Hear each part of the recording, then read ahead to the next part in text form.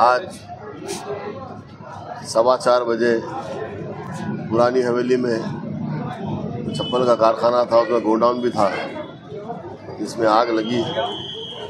जिसकी इतला सदर मजलिस नकीब मिलत बैरिस्टर असुद्दीन ओवैसी साहब को यहाँ के लोगों से दी गई।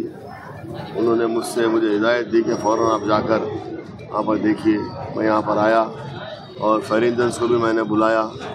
इसकी वजह से आग काफ़ी बुझ चुकी है और कोई जानी नुकसान नहीं हुआ है। जो भी माली नुकसान हुआ है, उसका असेसमेंट बाद में बताया जाएगा। लेकिन इस तरह से यहाँ के लोगों ने भी जो ताउन किया है आग बुझाने में, इसकी वजह से जल्द से जल्द ये आग बुझ गई है और कोई जानी नुकसान नहीं हुआ है। और पुलिस की जानब से भी जो काम किए हैं पुलिस ने भी प्रॉम्प्ट एक्शन लिए पुलिस ने भी।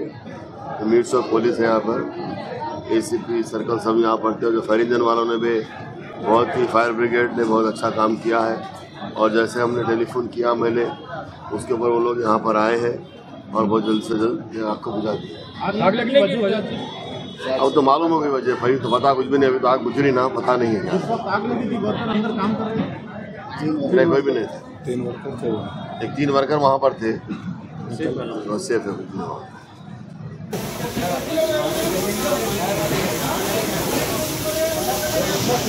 हाँ उठाओ ना पोकर